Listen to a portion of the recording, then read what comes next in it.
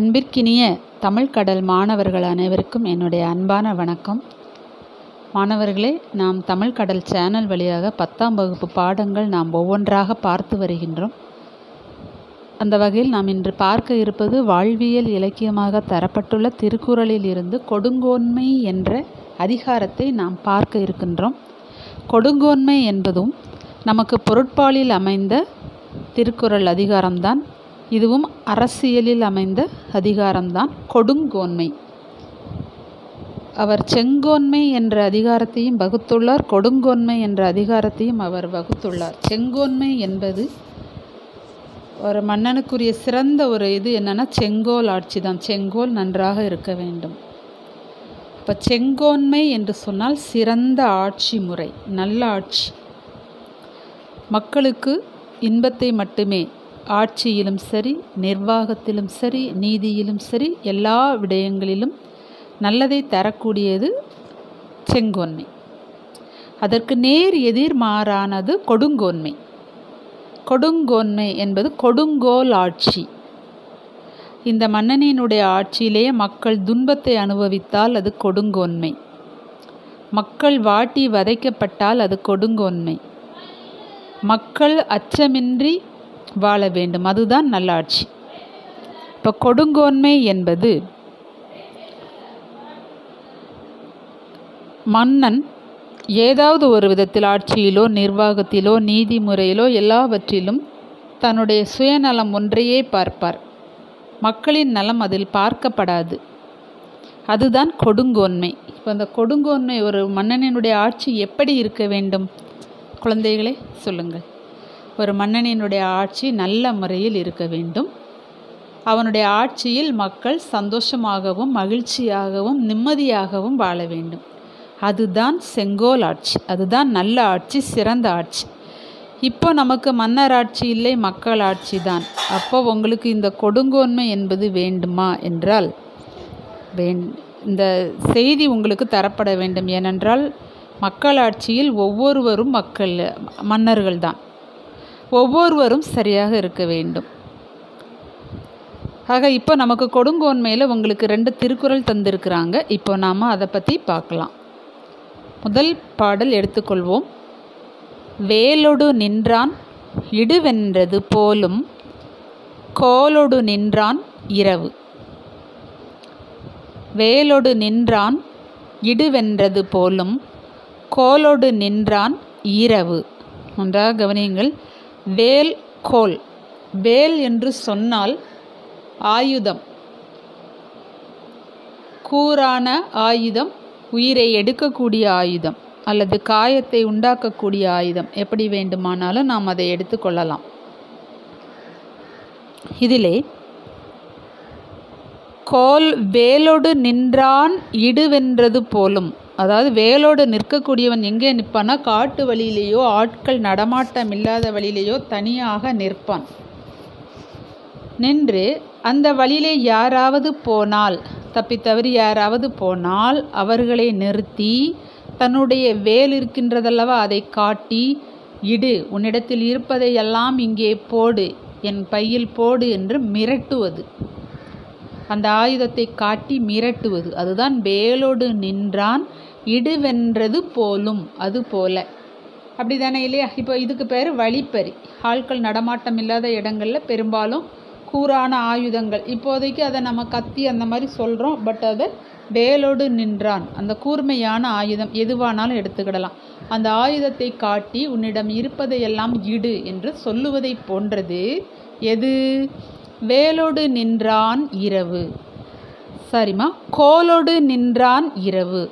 கோல் என்று சொன்னால் செங்கோலை வைத்திருக்கக்கூடியவன் செங்கோல்னால் அதுக்காக கோலை கையிலே வச்சுட்டே இருப்போம். அப்படி கிடையாது. செங்கோல் அப்படின்னு சொன்னால் இந்த இடத்துல கொடுங்கோல் நம்ம கொடுங்கோன்மை பற்றி தான் பார்க்குறோம். அப்போது அவனுடைய செங்கோல் கொடுங்கோலாக மாறி நிற்கிது அப்போ அந்த ஆட்சி செய்யக்கூடிய மன்னன் நீதி நெறியிலே கோலோடு நின்றான். கோல் என்று சொன்னால் நல்ல ஆட்சியை செய்யக்கூடிய ஒரு மன்னன் எப்படி நிற்கின்றான்? இரவு இரவு என்று சொன்னால் நமக்கு சூரியன் மறைந்த நேரம் நமக்கு இரவு என்று ஒரு பொருள் உண்டு. ஆனால் இந்த இடத்திலே இரவு என்பது இறத்தல் என்ற பொருளை தரும். தா என்று கேட்பதற்கு சமமாகும். மன்னவன் தா என்று கேட்பது வரியை சொல்லுகிறது. இந்த இடத்துல மக்களுக்கு அதிகமான வரி கொடுத்தால் வரி விதித்தால் அந்த அந்த அந்த செயலும் எப்படிப்பட்டது என்றால் வழிப்பறிக்கு சமமானது என்று சொல்லப்பட்டுள்ளது. புரியுதா இப்போ?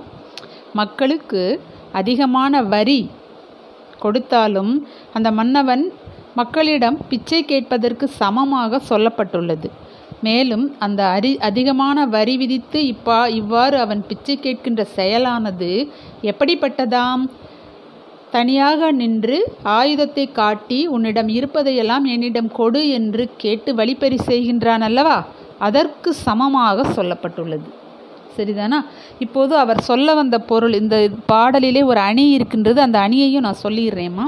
அந்த அணி என்னென்னா உவமை அடுத்தது உவமேயம் ரெண்டும் இருக்கும். ரெண்டுத்துக்கு நடுவில் ஓம உருபு நேரடியாக வெளிப்பட்டு வந்தால் அந்த அணி வந்து ஓமை அணி. இப்போ நமக்கு சொல்ல வந்த பொருள் என்னவென்றால் கோலோடு நின்றான் இரவு. அப்போது ஆட்சி செய்யக்கூடிய மக்களை காப்பாற்றி நீதி செய்யக்கூடிய மன்னன் இறந்து நிற்பது அதாவது வேண்டி நிற்பது. வரி தாருங்கள் என்று வேண்டி நிற்கக்கூடிய செயலானது எதற்கு சமம்? அதுதான் பொருள்.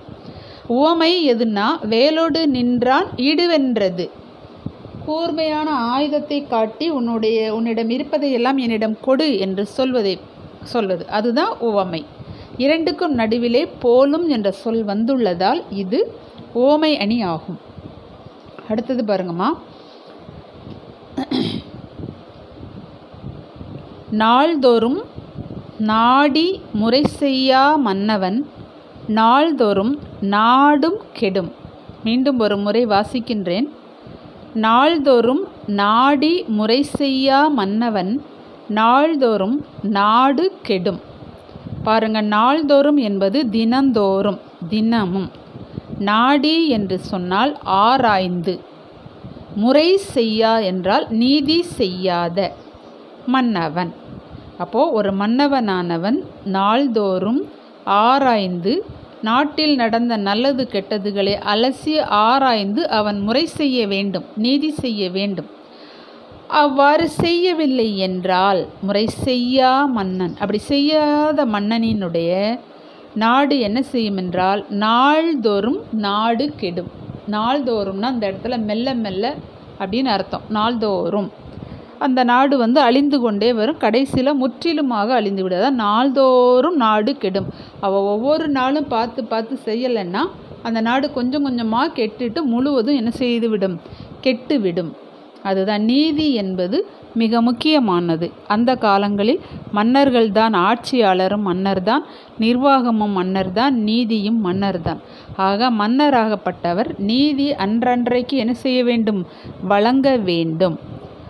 அந்த நீதி சரியாக வழங்கப்படவில்லை என்றால் அங்கே அநீதி எழுந்துவிடும். அநீதி எழுந்துவிடும் போது ஆர்ப்பாட்டங்களும் கொந்தளிப்புகளும் ஏற்பட்டு மன்னனுக்கு எதிராக எல்லாம் செயல்படும். அவ்வாறு செயல்படும் போது அவனுடைய நாடு கொஞ்சம் கொஞ்சமாக அழிந்துவிடும். இதுதான் அந்த பாடலினுடைய பொருள். மேலும் பாருங்க. இதில் இந்த நீதி என்பதற்கு ஒரு சின்ன ஒரு இது. சோழ நாட்டிலே மனுநீதி சோழன் என்று ஒருவர் இருந்தார். அவர் என்ன செய்வார் என்றால் அவருடைய அரண்மனையிலே ஒரு ஆலய மணி ஒன்று உண்டு அரண்மனை மணி. அந்த மணியை யார் அடித்தாலும் எந்த நேரம் அடித்தாலும் அவர் ஓடி வந்து அதை உடனே கேட்டு அந்த வழக்கிற்கு உடனே தீர்ப்பு சொல்வார். அப்பொழுது ஒரு நாள் ஒரு மணி ஓசை கேட்டவுடன் அந்த அரண்மனை வாசலினுடைய மணி ஓசை கேட்டவுடன் மன்னர் விரைந்து ஓடி வந்தார். அப்போ என்ன என்று விசாரிக்கும்போது அந்த அந்த ஒரு பசுவானது கண்ணீரோடு நின்றது. அப்போ இந்த பசுவின் கண்ணீருக்கு என்ன காரணம் என்று விசாரிக்கும்போது அந்த கன்று அந்த பசுவினுடைய கன்று ஒரு தேரின் காலில் மாட்டி இறந்துவிட்டது. அப்போது அந்த தேரை செலுத்தியவர் யார் என்றால் மன்னனின் மகன். அப்போ தீர்ப்பு நீங்கள் மன்னராக இருந்து உங்களுடைய பிள்ளைகள் இருந்தால் நீங்கள் என்ன செய்வீர்கள்? அதை கண்டுகொள்ளாமல் விட்டுவிடவில்லை மன்னன். தன்னுடைய மகனாக இருந்தாலும் நீதி சரியாக வழங்கினார். அதே தேர்காலில் தன்னுடைய மகனை இட்டு கொன்றார். அந்த பசுவின் கண்ணீருக்கு பதில் உடனே தரப்பட்டது. யார் அப்போ ஒரு பசுவிற்கே நீதி வழங்கிய காலங்களும் உண்டு. இதை விட ஒரு அழகான ஒரு தீர்ப்பு உலகத்தில் வேற எங்கேயும் சொல்ல முடியாது. உலகிற்கே நீதியில் முன்னோடியாக திகழ்ந்த நாடு நம்முடைய தமிழ்நாடு. அத்தகைய நீதி வழங்கிய தமிழ்நாடு. இப்போது இந்த கொடுங்கோன்மைங்கிறது உங்களுக்கு எதுக்காக வச்சுருக்குது அப்படின்னு சொன்னால் இப்போ மன்னர் மக்களாட்சியிலே நம்ம ஒவ்வொருவருமே மன்னர்கள் தான். நமக்கு எல்லா சுதந்திரமும் இருக்குது நாளைய உலகம் உங்கள் கையிலே தான் அப்போ நீங்கள் என்ன செய்யணும்? நாளைக்கு நீங்கள் ஆட்சியாளராக வரலாம். இல்லை ஆட்சி அதிகாரியாக வரலாம். இல்லை நீதித்துறையில் நீங்கள் வரலாம். இல்லை ஏதாவது ஒரு சின்ன வேலையில் கூட நீங்கள் இருக்கலாம். அப்போ உங்களுடைய வேலையை நீங்கள் எவ்வாறு செய்ய வேண்டும்? மனசாட்சிக்கு விரோதம் இல்லாமல் நல்ல முறையில் உங்களுடைய பணியை செவ்வனே செய்யணும். உங்களுடைய வேலையில் லஞ்சம் வாங்கக்கூடிய வாய்ப்புகள் வந்தால் வாங்கக்கூடாது. பாரபட்சம் பார்க்கக்கூடாது. பாரபட்சம் பார்க்க வேண்டிய சூழ்நிலைகள்லாம் இப்போ எவ்வளவோ வருது. அந்த மாதிரி பாரபட்சம் பார்க்க பார்க்காம லஞ்ச லாவண்யங்களுக்கு ஆட்படாமல் அது மாதிரி உங்களுக்கு கொடுக்கப்பட்ட வேலைகளை தாமதம் காட்டாமல் உங்களுடைய வேலையை நீங்கள் செவ்வனே சரியாக நீங்கள் செய்தீர்களானாலே நல்லாட்சியாக இருக்கும். அப்படின்னு சொல்லி உங்களை வாழ்த்தி அடுத்தது நம்ம வினாவிடை பார்ப்போம். வினாவிடை பார்த்துக்கோங்க. கொடுங்கோன்மை பொருள் கூறுக. இடு இருப்பதையெல்லாம் கொடு. வேலோடு நின்றான் கூறிய ஆயுதத்தோடு நின்றான். கோலோடு நின்றான் செங்கோலை தாங்கி நின்றான். இரவு வரி அல்லது இரத்தல். நாள்தோறும் தினமும். நாடி ஆராய்ந்து. முறை நீதி அல்லது நன்மை தீமைகளை ஆராய்ந்து நீதி வழங்குதல். பிரித்தறிக நாள்தோறும் நாள் கூட்டல் தோறும். இடுவென்றது இடு கூட்டல் என்றது. சாரிம்மா இடு இடுவென்றது போலும் இடு கூட்டல் என்றது கூட்டல் போலும். இலக்கண குறிப்பு நின்றான். ஆண்பால் வினைமுற்று போலும் உவம உருபு செய்யா. ஈறுகட்ட எதிர்மறை பெயரெச்சம் கெடும் செய்யும் எனும் வாய்ப்பாட்டு வினைமுற்று. அடுத்தது வினாவிடை கோலோடு நின்றான். யார்? வழிப்பறி செய்பவன். கோலோடு நின்றான். யார்? அதிக வரி விதிக்கும் மன்னவன். வேலோடு நின்றான் டேஸ் போலும் இடுவென்றது போலும். கோலோடு நின்றான் டேஸ். இரவு. பலிப்பறிக்கு நிகராக கூறப்பட்டது யாது? அதிக வரி விதிக்கும் மன்னனின் செயல். வினாயன் ஆறு அதிக வரி விதிக்கும் மன்னனின் செயல் எதற்கு ஒப்பாக கூறப்பட்டுள்ளது? வழிப்பறிக்கு ஒப்பாக கூறப்பட்டுள்ளது. நாள்தோறும் நாடி டேஸ் மன்னவன் முறை செய்யா மன்னவன். ஆராய்ந்து நீதி செய்யாத மன்னன் எதை இழப்பான்? தனது நாட்டை இழப்பான். மன்னவனின் நாடு கெடும். எப்போது? நாள்தோறும் நாடி முறை செய்யாத போது. கொடுங்கோன்மை பற்றி வள்ளுவர் கூறும் கருத்துகள் யாது? இந்த மாதிரி கேள்வி பத்தாவது கேள்வி இது. இதுக்கு நீங்கள் அந்த இரண்டு குரல்கள் குரட்பாக்களினுடைய கருத்துகளையும் நீங்கள் தொகுத்து எழுதிவிடுங்கள் மாணவர்களே. மாணவர்களே இனி அடுத்தது கண்ணோட்டம் என்ற அதிகாரத்தில் உங்களை காணும் வரை உங்களிடமிருந்து விடைபெற்றுக் கொள்கின்றேன். அதற்கு முன்பாக நம்முடைய சேனலை சப்ஸ்கிரைப் செய்து கொள்ளாதவர்கள் சப்ஸ்கிரைப் செய்து கொள்ளுங்கள் பெல் ஐக்கானையும் கிளிக் செய்து கொள்ளுங்கள். அப்பொழுதுதான் அந்த போடக்கூடிய வீடியோ உங்களுக்கு உடனே உடனே வந்து சேரும். அதுவரையிலும் உங்களிடமிருந்து விடைபெற்றுக் கொள்வது தமிழ் கடல் சாரதா. நன்றி வணக்கம்.